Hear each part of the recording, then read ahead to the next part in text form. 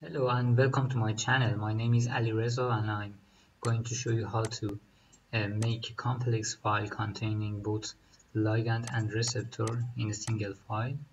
Uh, I'm going to use the Autodock Vina results as the primary files.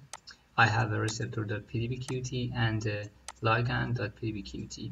The ligand, as you may know, composed of uh, uh, nine mo different models, different uh, poses, and each, if you use the uh, Notepad or any other text editors like Notepad, Notepad++, Vim, or other softwares, uh, you can see the files containing the PDBQT information of the ligand. Uh, it starts with the model 1 with the highest affinity to the receptor um, in which in these files we have a, a ligand with the first model with negative 9.2 uh, per mole affinity to the receptor. It, is, it uh, starts uh, with the root command and end at the uh, end model. So I'm going to use only the first position and I'm going to remove the rest of the ligands. I'm going to press Ctrl Shift and End and remove. Okay. Uh, now I'm going to save this file and close it. Uh, the next software, the open source software, we need to convert and these both these both files into the PDB file format is uh, OpenBabel. Simply just drag ligand into the query and convert into the PDB.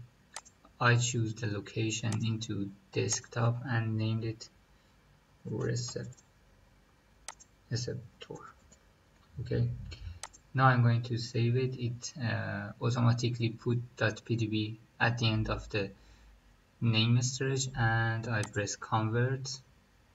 Now uh, my receptor is saved in my desktop.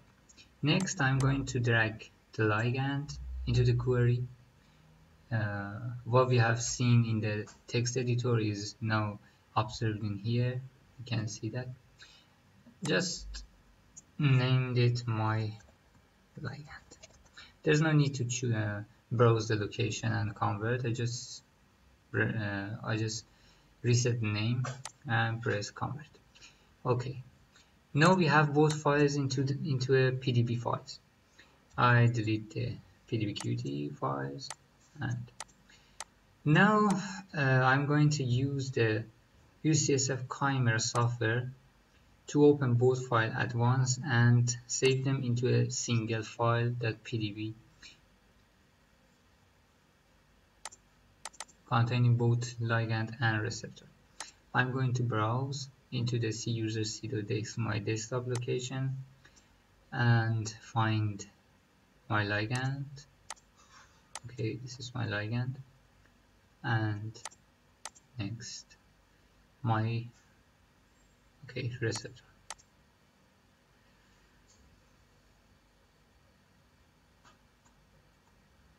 Where is the receptor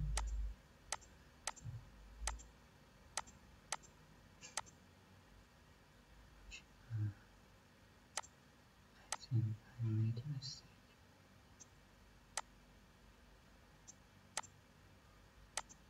now I'm going to open my receptor file and see what happens. Okay. Now as you can see my uh, my ligand and receptor are both loaded loaded in the exact uh, coordination in my docking result uh, to uh, save the decision into a PDB file. Okay. And there are several options here in my desktop location okay by uh, ticking this box uh, I'm going to save the save my file into that PDB file and the software automatically put that uh, that PDB at the end of my file name. Uh, models. We have two models ligand and receptor both selected and highlighted in blue. Uh, here we have uh, multiple models we just do not need to save in multiple files. If we choose this option the our files will save into different ligand and receptor files. By clicking a single file they both will save into a single that complex file. Okay uh, make sure these uh, both ligand and receptor are highlighted and you have uh, clicked a single file then named it complex .pdb will add at the when I press save button. Okay. Uh, okay. Okay our complex file is routed here. If I manually open this file with my notepad++ plus I will see a UNL ligand file and it's followed by a model second model uh, which is my receptor file. Okay. Now I'm going to close this session and open my complex file and see what's happening. Okay. As you can see the complex file contains both ligand and receptor and now I can use it in different kind of process of drug discovery like ligand uh, like structure based drug discovery other uh, okay pharmacophore based drug discovery. I hope you enjoyed this video. If you liked it please uh, press uh, push the like button and subscribe into my channel. Thank you so much